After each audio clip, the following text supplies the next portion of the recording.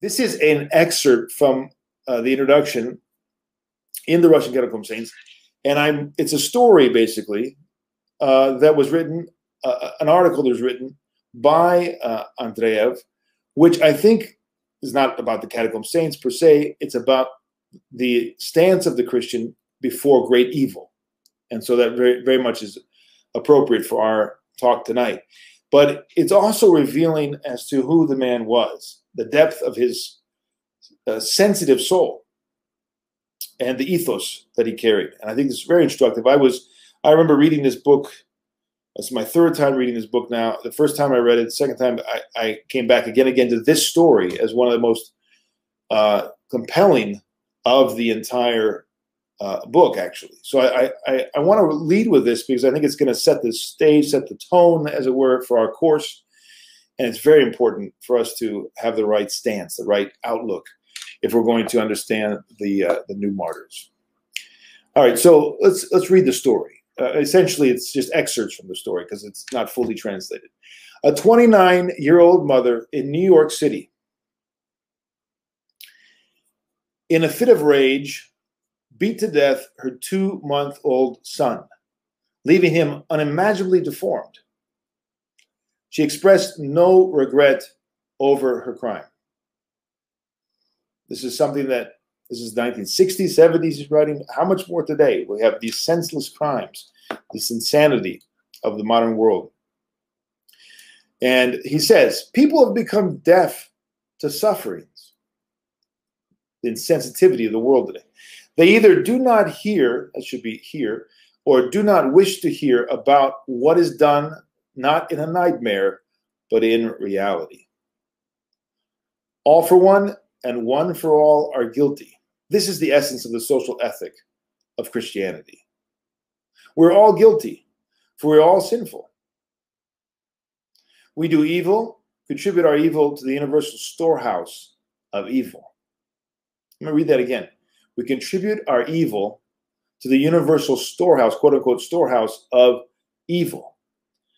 And this evil accumulates into an immense universal energy of evil and seeks for its incarnation in the vessels of bodies without grace.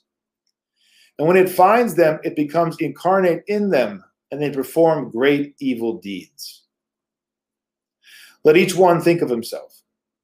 What were you doing on that evening when this unbelievable but true, authentic evil deed was performed? Perhaps it was your sin, your immoral deed, your malice, which turned out to be the last little drop which caused the vessel of evil to overflow.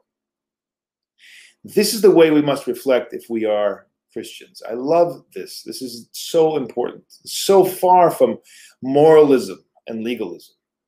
It's so far from Pharisaism and hypocrisy. Right?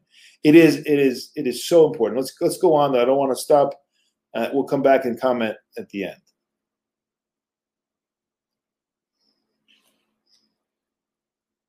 Let's see.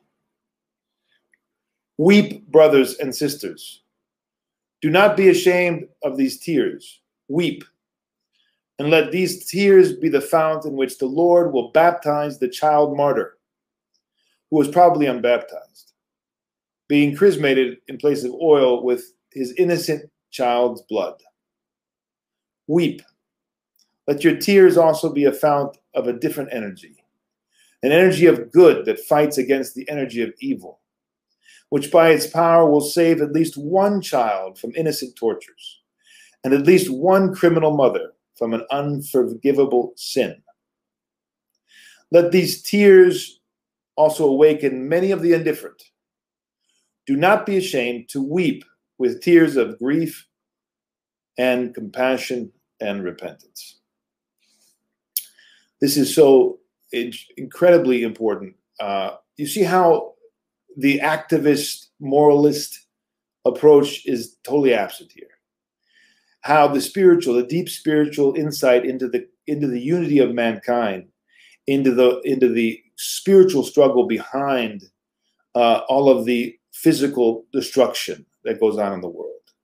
The sensitivity to the uh, to the fact that every one of us contributes either negatively or positively, either through sin or through virtue, to the state, state of the world.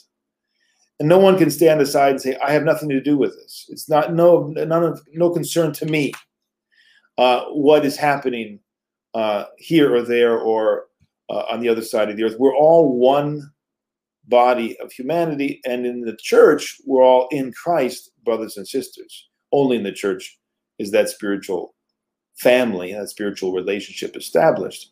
And so, even more so with that spiritual connection, we are co responsible in the church.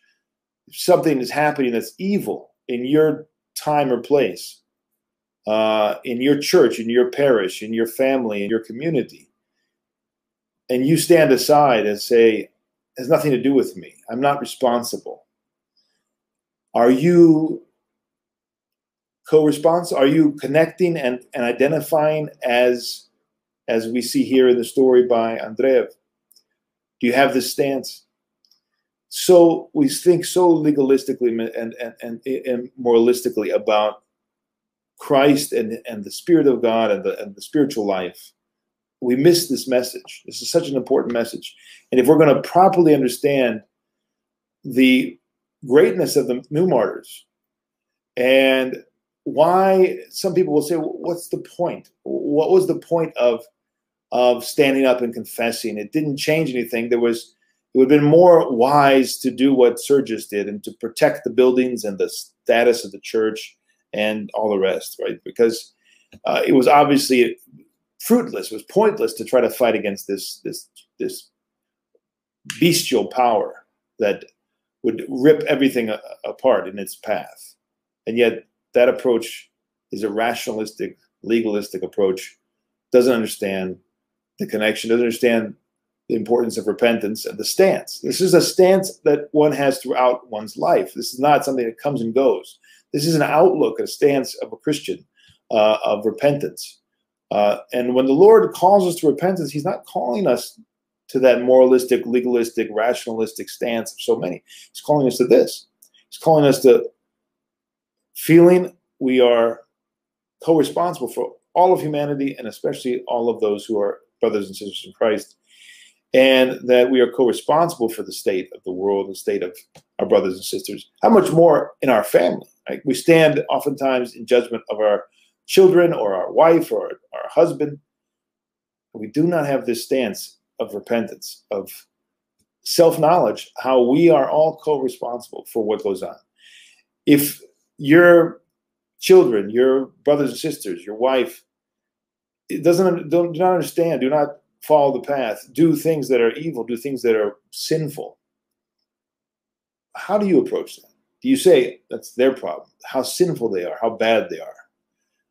like the Pharisee, the hypocrite? Or do you say, it's I am the cause of them not being closer to Christ because I do not use my time and, and the gifts that God has given me, my freedom to be a, uh, a spiritual bomb for all of those around me. So this is an amazing uh, insight on the part of, of our, uh, our, uh, our author of our text. I think it's important that we keep it in mind as we go through the whole book. It also shows the greatness of his soul